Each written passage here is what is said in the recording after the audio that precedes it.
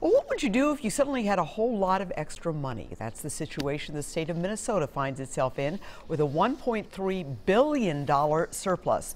The argument over what to do with the surplus is expected to dominate the legislative session.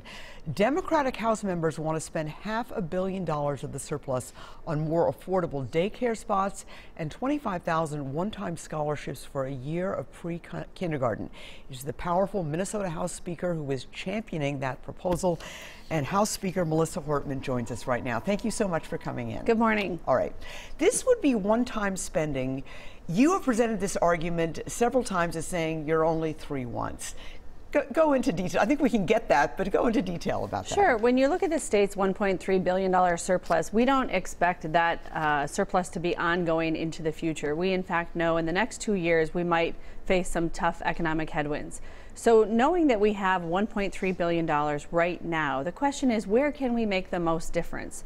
And you are only three once. And the difference we make in a three year old's life in the year when they are three will carry with them for the rest of their life. So it would be wonderful if we could make a commitment to all the three year olds in Minnesota. This year's three year olds, next year's three year olds. But just because we can't make that commitment to next year's three year olds, we don't know yet that we'll have the money to do that, doesn't mean we should miss this opportunity in the lives of so many Minnesota children. Right. You, you had a very compelling case at the news conference that I was at uh, of a young family, the, the mom, middle class family in Plymouth, the dad had PTSD from service in the Marine Corps and they could no longer afford their child's pre-K, and they were able to get one of these grants.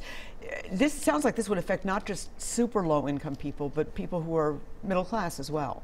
Well, that's right. That mom made the case that one of the most difficult things for parents to pay for is college. But in college, kids can qualify for scholarships. And when you look at early education and the cost being similar to college, it's important that we have scholarships out there that can make a big difference for families who need them. All right. You also had um, a provider from Ada who talked about only having four spots for infants in all of Ada, which serves a larger rural area around there. Is that something that's going on around the state, and are you hoping? I mean, that really is a crisis for families. Well, absolutely. In Minnesota, we have a very high labor participation rate. A lot of families, both mom and dad, go to work. And so we have really a child care crisis. Not only are there not enough spots, but they're not affordable for families. And then further, the people who are working in those very important jobs aren't making enough money. So it's worthy of a lot of attention from the Minnesota legislature this year. All right, and we, we expect to have uh, Republican leaders on this program in upcoming weeks. They're talking about tax cuts, someplace you're not going. Let, let me ask you. House uh, Democrats are also talking about an enormous bonding bill of three plus billion dollars. Where are you on that? This is money you would borrow for infrastructure projects at a time when interest rates are actually very, very good for the state of Minnesota. Well, that's right. You know, cities and counties uh, have made requests more than $5 billion. There is a huge unmet need for our wastewater treatment plants, our local roads and bridges, higher education institution buildings.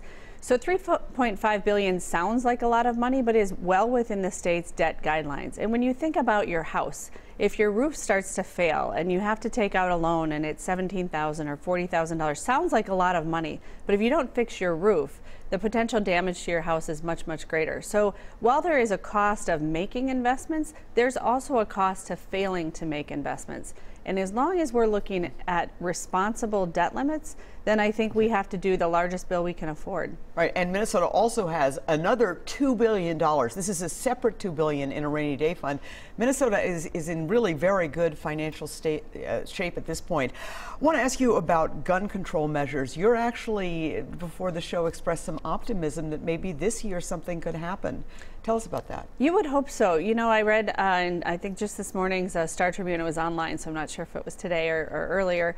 Um, in Florida, since they passed the red flag law with a Republican House, a Republican Senate, a Republican governor, they have had 3,500 incidents where law enforcement has been able to use the law to take action where someone has expressed a threat to themselves or to other people. We see this red flag provision making a difference most significantly in gun suicides.